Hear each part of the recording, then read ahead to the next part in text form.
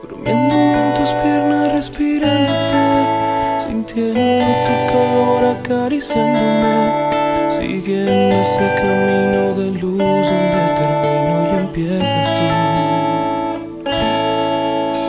Tocándote mil veces por primera vez, llenando con mi vida todo lo que ves, siguiendo ese camino a mi casa, que es mi casa porque